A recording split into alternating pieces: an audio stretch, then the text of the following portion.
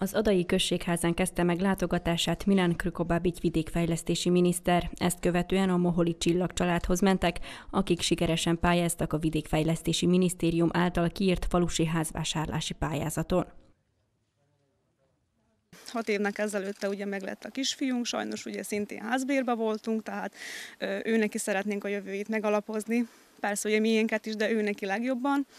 És hát Szeretnénk, hogy tehát nem volt még ugye saját házunk, és ez nagyon jó érzés. Az adai önkormányzat sem engedi el a fiatal házasok kisgyermekes családok kezét. Az elmúlt időszakban közel 50 millió dinárt biztosítottak ház és lakás vásárlására a község polgárai számára.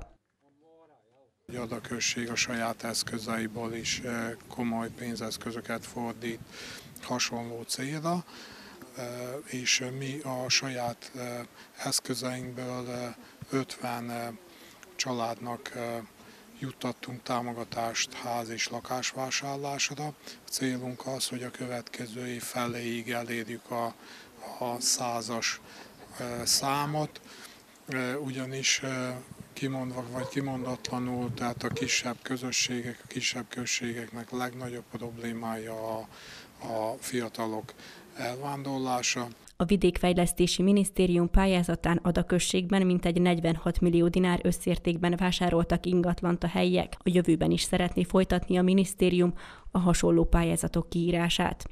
Samo ovoj opštini imamo 38-7 kuća. To je znači izuzetno veliki broj. Ovdje u ovom selu je 18.